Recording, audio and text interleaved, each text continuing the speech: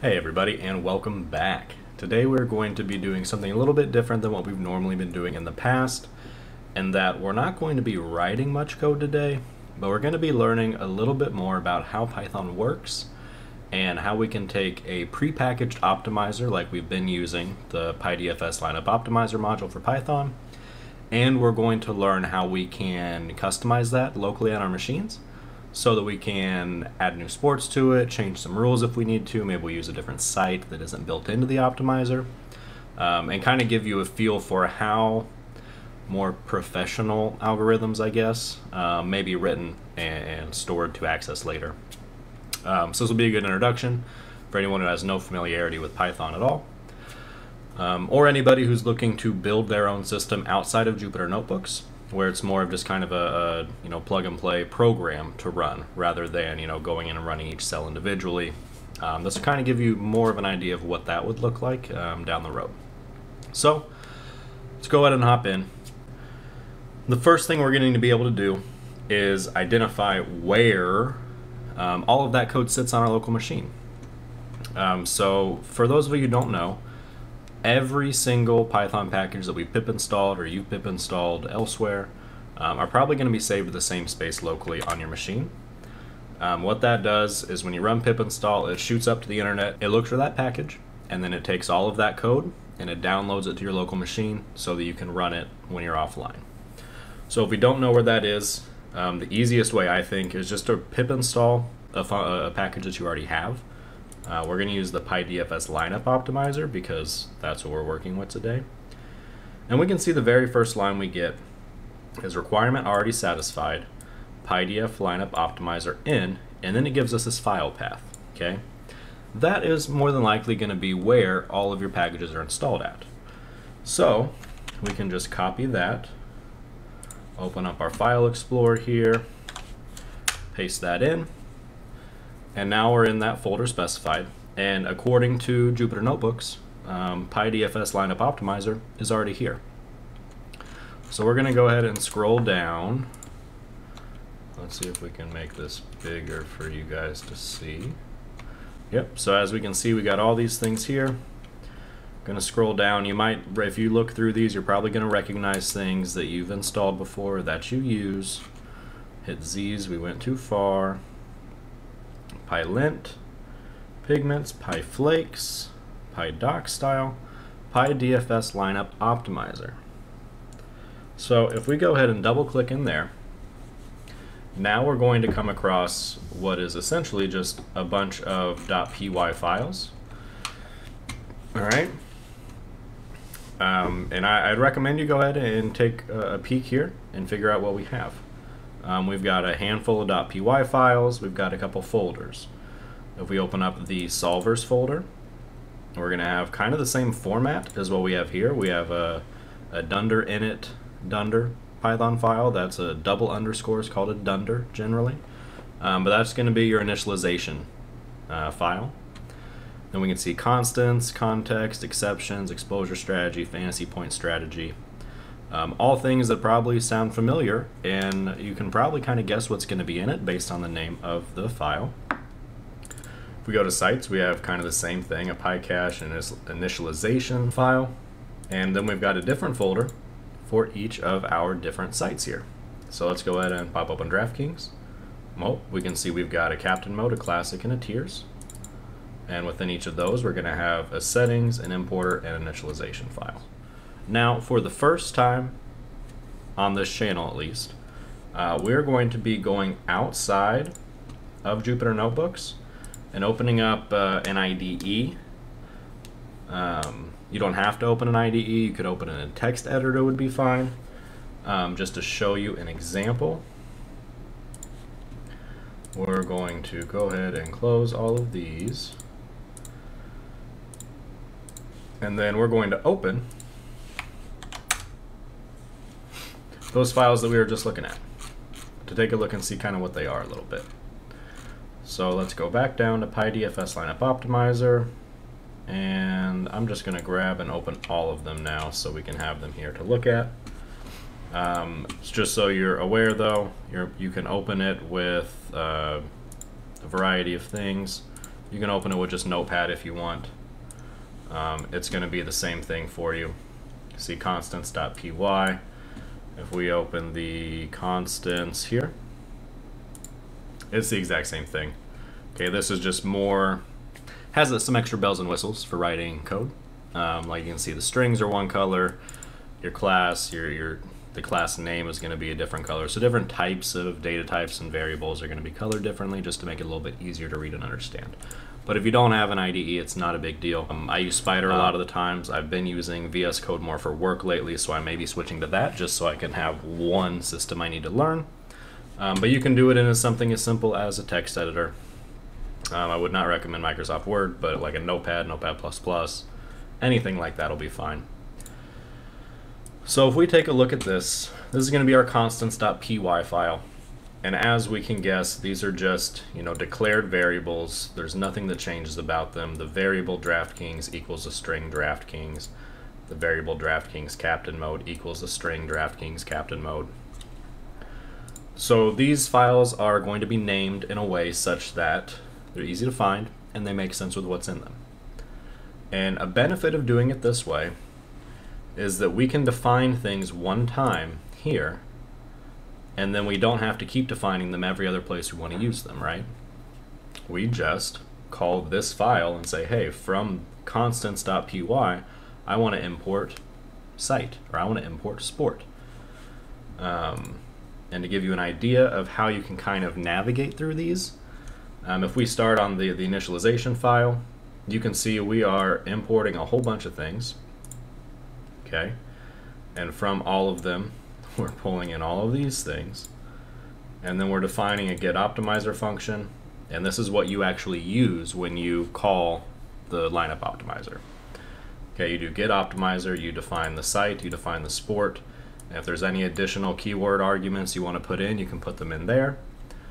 And then that gives you you know, it returns the results basically of that lineup optimizer site registry get settings. So you get the settings for that site and that sport with those keyword arguments. So if you are so inclined, if you're a tinker like I am, and you like to know how things work and you want to dig into the nitty gritty, this is where you want to start.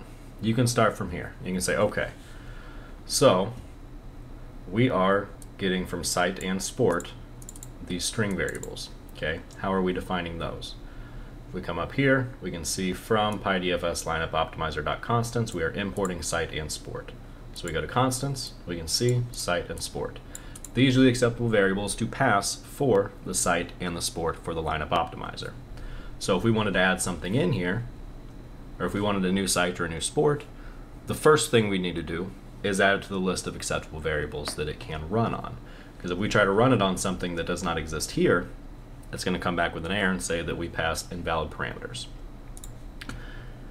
Next up, we return lineup optimizer with those settings, site and sport. Okay, so let's look for lineup optimizer.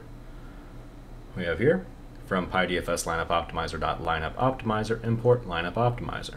All right, so we're going to go to lineup optimizer.py and we're importing this whoop, lineup optimizer class. And now you can see here or importing a bunch of other things as well. Okay, and we have some base rules. These are all going to be variables. And our lineup optimizer. And this gets a little more complex because now we're dealing with classes and properties and inheritances and all of that. Things that we've not got to, and quite frankly, I don't think it's necessary to go through at this point in time. If you wanted to build something more professional, um, if you have aspirations of being a professional software engineer, um, coder, software developer, whatever, it would probably do you good to kind of go through and try and start understanding how these things work. Um, I would suggest not starting with this. I would suggest going somewhere and finding some online tutorials on what classes are and how to use them. Um, it's not terribly hard. Basically, what we're doing is defining what a lineup optimizer is. We are giving it attributes. Um, that we can define. So settings, type-based settings. So, you know, we've got all of our, our settings here. These are going to be the base settings, which you see a lot of them are none because by default they're not being used. They're all things that you can define uh, somewhere in here. Um, it might not be something you pass the optimizer function in Jupyter Notebooks, but it is something that is being defined within this code base. So if you wanted to alter it, you can come in here and alter it.